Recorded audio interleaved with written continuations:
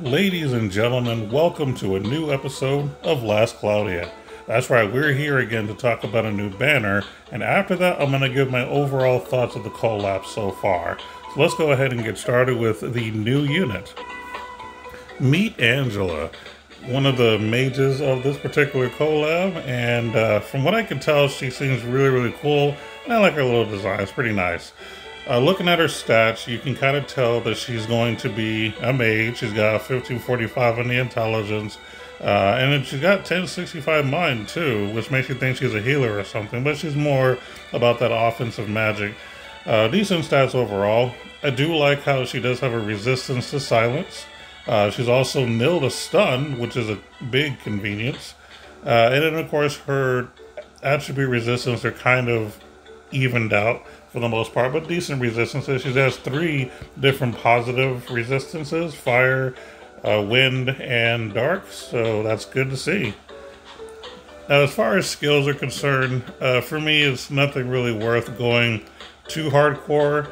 Well, I'd say the special is really the only thing worth mentioning. Uh, basically, it's a powerful attack on all enemies, a high chance to make enemies faint uh, excluding bosses. So she has a cool little special, uh, mainly because she can make the enemies fake. Why not? As far as the traits, we have Spellbinder. So become Spellbinder class, staff equipped, magic attack damage plus 30%, damage cap 3000. So you're getting a boost in your offense on both the damage boost and damage cap um, boost. So that's pretty cool. I like it so far. Uh, we also have Alternus Magician, probably saying it wrong, but whatever. Uh, when hitting an attribute weakness with a magical attack, damage plus 40%. Uh, and then mana attack magic effective against bosses. That's pretty cool. Uses 3% of max MP for 100% more damage. So that's pretty cool too. I like that overall. So this is a rainbow mage, just to kind of let you know. So she's going to be able to hit most of the elements. So as far as hitting a weak attribute, that should be very easy for her, which is why this is really good. So most of the time, with with one minor exception, even with the exception, you can still get around it. But pretty much all of the time, you're going to be able to get plus 40% damage. So nothing wrong with that. Uh, mana attack magic effective against bosses. Uh, basically, all of her magic is mana magic, so she's going to be good against bosses in general. She's just going to be dealing more and more damage. It's almost like a Slayer kind of a thing, but for magic. She has a boss Slayer, for, or I, I guess you can call it a boss geyser, is what this trait is. And then, of course, being able to use some of your MP to make your offense stronger. We've seen something similar before and it's just nice that she has it. So she just has a lot of damage boosters in this particular trait. So not bad. All right, so let's take a look at some magic and skills. So we have Exploder. Now we've seen this before. Uh, fire attack, basically. Uh, we have Blaze Wall, which is uh, another fire attack, but with a damage cap of 2,000. So that's kind of the difference here. You pay more MP for 2,000 damage cap. Uh, we have Spike Freeze, which is an ice attack. Uh, Stun Gust, which is a wind attack that can has a chance to put silence on the enemy. We have Thunderstorm, which is a thunder-based attack. You have Evil Gate, which is a dark attack. Keep in mind these are all mana magic, uh, as or they all actually say it on here. And then they have Dark Force, which is another uh, Dark Attack. This is just a stronger version of it. No special effects, just a stronger version. And then you have Ancient Curse, which is the, the one that people are excited about the most. It's a powerful no attribute attack on all enemies. So yes, we have a neutral magic damage dealer. Uh, our second one to be able to do uh, no attribute magic, which is really cool to see. The only other character we have that does this is Lagravos. Now, thanks to people on my friend list who actually have Angela, I've been able to test out this particular magic, and I like it a lot more than Apocalypse, mainly because it's just faster. You know, you you cast it, boom, it comes out, it hits fast. So personally, I like it better than Apocalypse, mainly because of its speed. Uh, and of course, mana magic is always better than the normal magic you would get in this game, so I'm not surprised. So I like it a lot. Moving along to skills, we have MP up max, which she needs, Arcane up 3 and 5, really good. Dragon Geyser, so another magical slayer. We have special boost. Uh, we have auto aura, wisdom is protection, auto protection, auto crit, auto advanced circles, auto recast. So as you can tell right here, the fact that she has auto recast and auto advanced circles basically tells you that she basically has the mage package. Those are the two more important things. The only thing that's not that I haven't mentioned yet is high level magic chat, but those are the main three you want to see on a mage. Uh, moving along, so we have auto heal, which is actually really good too.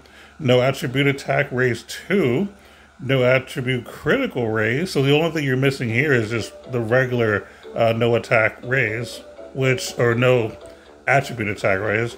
Uh, one, which can easily be learned by certain arcs. Uh, you have Pose of Victory. We have High Level Magic Chant. There it is. We have Enigma. This seems new, less likely to be targeted by enemies. So this is similar to, uh, I think it's Illusion.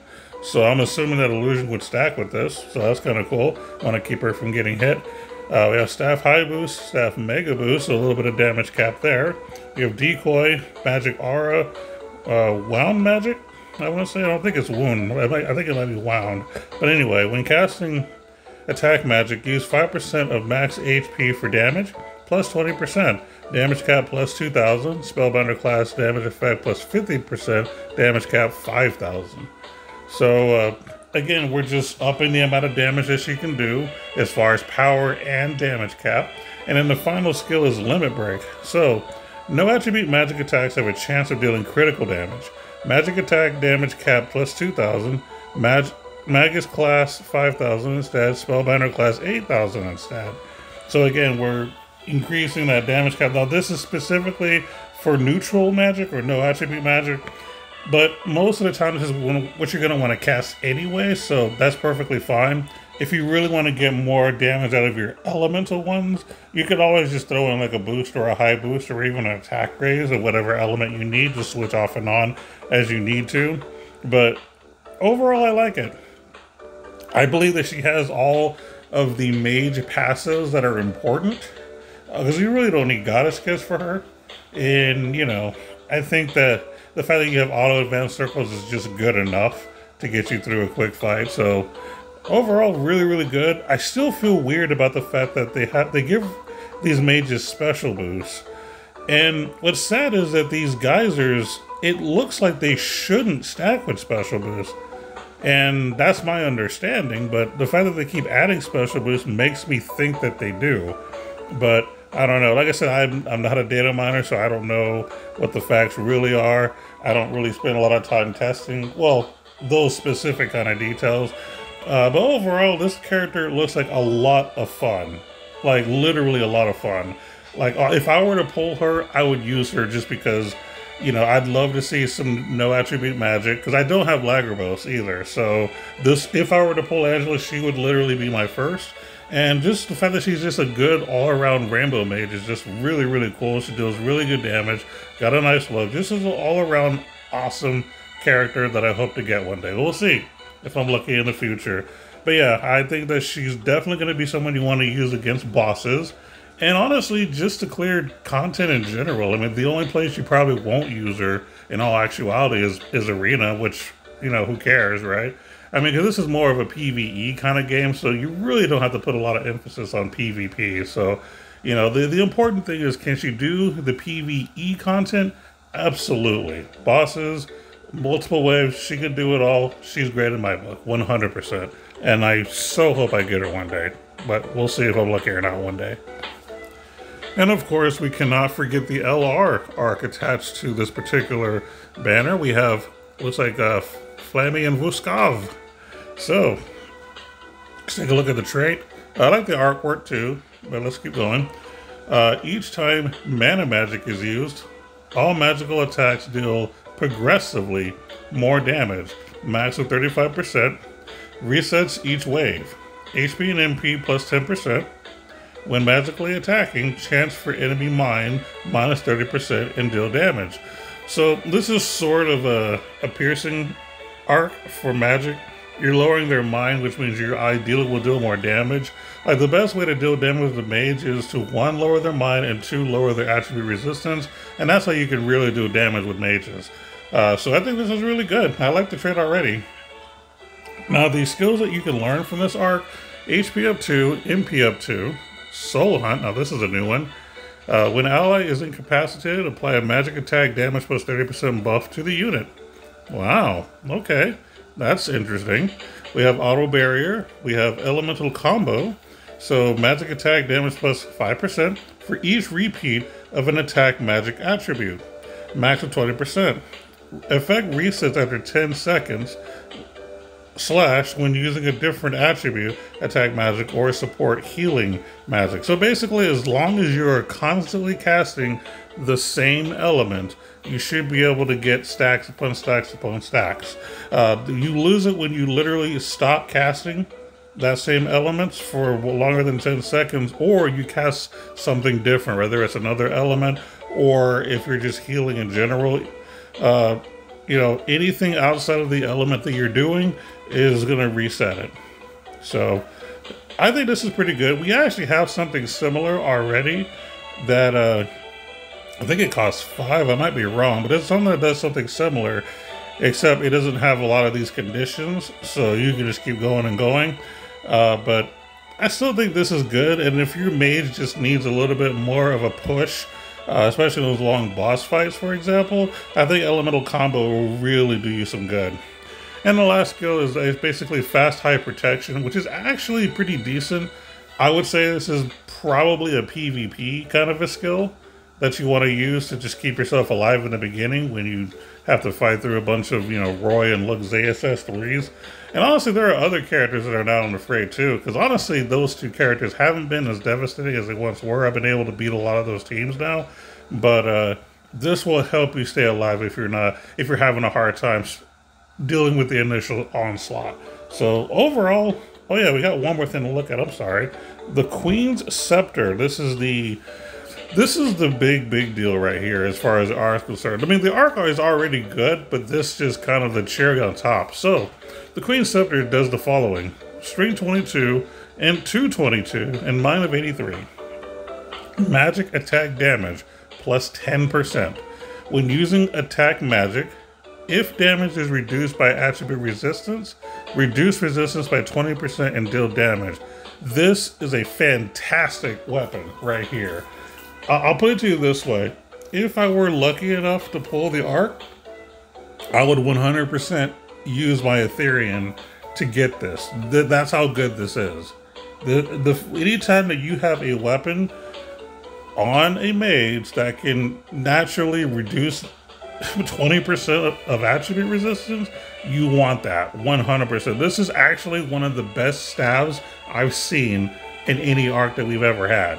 Now, we've had some really good staffs in the game, believe it or not. There's actually a lot of good staffs, and this is really, really high up there as one of the top tier, in my opinion. I think this is a great weapon and definitely worth using Ethereum. And I don't say that about a lot of arcs. A lot of the items, I'm like, yeah, they seem pretty good. But this specifically, I think, is pretty much a must for, you know, any kind of mage, really. This is just too good. So, yeah, I 100% approve of this particular item. So, yeah, overall, I think this is a great arc. I think this is a lot better than the other arc that we got on the first part of the collab. This one just has the whole package. It has a good arc trait. It actually has some interesting skills you can learn, and the Ether reward is just fantastic. There is nothing bad at this. This is to me a top tier arc, 100% top tier. Don't care what anyone else says. That's just what it is. But yeah, I think this is definitely this and Angela to me is worth chasing. I like both. I this is just one of the best banners I've seen in a while. So yeah, really really cool. And of course, we have to talk about some of the paid gear. So let's take a look at yet another staff. Now, this is specifically for Angela. Now, this is a 25 strength with 222 intelligence, magic attack damage cap 2000, magic attack damage plus 15%, MP plus 15%. So, you're getting 2000 damage cap, 15% to your magic attack, and plus 15% of your, you know, base MP. Overall, this is pretty good. It's just more or less a statted item. I think it's good. Uh, personally, though, as much as I do like this, I think the arc ether reward from the arc that we just discussed would be a lot better than this. I mean, yeah, you're missing on a little bit of damage cap, but you know, in all honesty, I just think that uh, you're going to be able to deal more on top damage in general by being able to penetrate uh, some weaknesses and help enable the, your other uh, partners that are on your team. Again, this isn't saying that this is bad. It's just the problem is is that the, there's an arc that I feel would be better. So you know, we'll see what the other item is to see if it's worth paying for this. So we have the Devil Dress. So this is Intelligence 151, which is interesting for a robe. Uh, defense plus 65. Physical and magic attack. Ma- I'm sorry, physical and magic. Yeah, damage taken minus 10%. Casting not interrupted by most attacks. Imply plus 15%. With the resistance to silence, which would put you at nil, and plus 20 resistance to light, which would give you a fourth element that she'll actually be uh, stronger in. So this actually I like a little bit better, I think. Let me go take a look at the weapon. I don't know if there was any...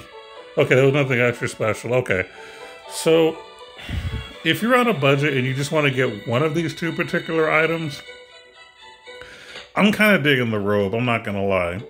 And, and honestly, the arc that comes with the character is part of the reason because I just think that that's just a better uh, weapon in general. But the robe is just giving you a lot. I mean, one, you're still getting an intelligence boost, so you're dealing more magic damage, right? Uh, you're getting more damage mitigation by both physical and magic by 10% without having to like add any skills to do that. So you're getting some defense naturally. Not basically having um, a movable object on a robe is a good thing too. And you're still getting plus 15% MP. You know what I mean? I mean, honestly, this robe is a total package, in my opinion. So if I was to choose between the, the dress and the staff, I would 100% go for the dress. I think that this is just better in general. And I don't dual wield mages ever, so, you know, that's not even a factor. But yeah, I would definitely 100% say go for uh, this particular robe if you're going to pick one or the other. All right, so this is the part where I want to kind of talk about my thoughts on the collab as a whole.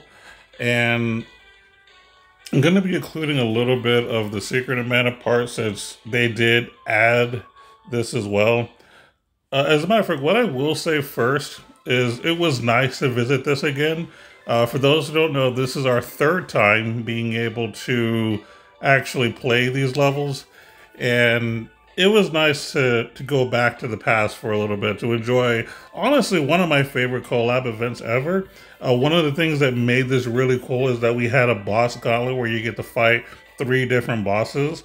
And I thought that was just, you know, really, really cool to fight those bosses, grind for some of the materials, and it was pretty cool. And in here, you basically got a repeat of that. Now, they didn't do anything special with this.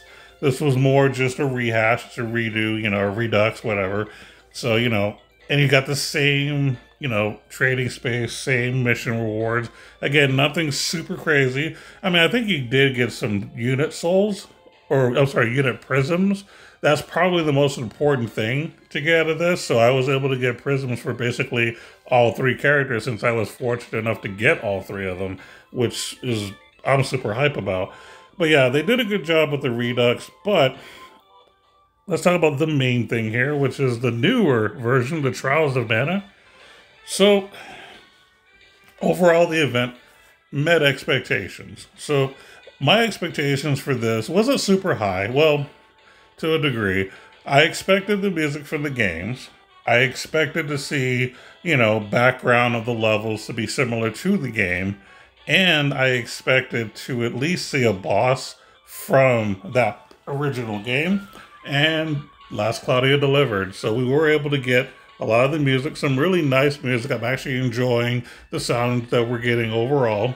And, you know, we got to see, you know, one of the big bosses when you're doing, you know, the, uh, I think it's the to protect the world. So that particular boss in there, we got to fight. You know, so it was kind of cool. I mean, I dig that, and so it was what I expected. Uh, as far as like the magic pot thing, this is just a way for you to get, you know, some your soul slash prisms. Uh, you could uh, get mega clusters as well, so don't forget to, you know, open these. Uh, so you know, there was some good, good, interesting stuff. Uh, you had a bonus challenge that you can do every day to basically pick a unit to get a lot of experience, uh, get a lot of uh, unit souls of whatever character you're trying to level up.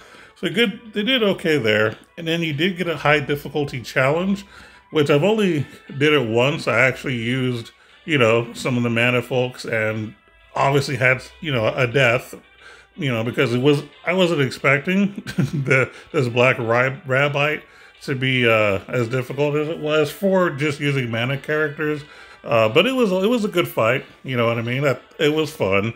You know, and it's not super difficult, right? I mean, if, if you were to use like a, you know, your big boss team, you could probably, you know, deal with it pretty well and possibly not have a death. But I wanted to have a little bit of fun. So I was using, you know, uh, Riesz and uh, I think Prim and I, I think I used Randi as well. Uh, and then I had like a, a healer uh, as far as the friend unit or something like that. I don't remember. But either way, uh, it was a fun fight. So overall, this was okay, right? I think it was pretty good. It did what I expected it to do. Uh, the only complaints that I have were just nitpicky, right? For example, uh, in the original Mana collab that we got, we had the opportunity to go to the world map and we were able to listen to one of the tracks of the Secret of Mana game on the world map. I believe on the second round of the uh, trial of the of the Mana collab, they took that away. Uh, correct me if I'm wrong, but I think they took that away. So you had to listen to just the regular world map music. And in here, they also took that away. So you don't get to hear that again. Again, that's just me being nitpicky. It's not, that doesn't really make or break the collab. Like I said, they did hit all the checkpoints they needed to. So I really don't have any legit complaints. This is more just me saying, okay, here like a minor thing that I would have liked to have seen them add. But again, overall, I think they did a decent job. Now, the only thing that we are missing that we don't quite have as part of this collab yet is the time trial. I don't know if that's really worth bringing up as far as is it good or bad. I mean, having a time trial is always fun. So the fact that they're going to do it, I think, is pretty cool. Uh, and my understanding is they're, they're going to lower the difficulty a little bit because on the last time trial we had, it was, you know, very difficult. Uh, even for me, I was having a hard time too with it. So what they, but what the what Last Cloudia wants to do is they want to be able to have everyone participate. They don't want to just cater to you know the top five percent of the player base. They want everyone to be able to actually play and, and actually complete and compete. So that's why they're going to lower the difficulty, just so they can have engagement with more players. Because I actually have a friend who plays this who basically told me on the last time trial, you know, that it's not even worth it, you know, between the prizes and the difficulty. So and I think that I've heard from others that supposedly they're going to make this time trial easier. Uh, so we'll see what that is. I don't know if I'm going to talk about it or not too much, but I wanted to bring it up because it is at least nice that for this collab we are getting a time trial. As far as what bosses to expect, I mean, obviously we're going to be fighting the the boss that came from the level 40 thing here on Hard to Protect the World. I'm like 100% certain that's going to be one of the fights we'll have to deal with. Uh, another guess, and I might be wrong, but they might even throw in the Black Rabite as another boss. Like if they up uh, the difficulty of that particular fight, that might prove to be pretty interesting. And then as far as like the third boss, that's the tricky one. Like I don't know if they're gonna like do the boss from the original Secret of Mana and throw that in there as a third boss. I have no idea. I guess we'll find out. Or they'll just probably throw in one of the bosses that we have naturally in Last Cloudia. I mean, that's, you know, something that I would probably expect more. Uh, but hopefully it'll be fun. Hopefully everybody will be able to participate and get something out of it. So we'll see what happens. But yeah, overall, I'm content with the collab. I have it didn't. I don't think they exceeded expectations, but I think they just met expectations. They did what they're supposed to do, and I'm happy with that. I, I'm not going to ask for too much more, except please give give me a ticket that'll give me Angela and the Ark. That's all I want. but that's going to be it for today's episode. I appreciate you guys taking the time to hear me talk for however long it's been. Uh, but until the next banner comes out, you keep gaming. Take care, everyone. Later.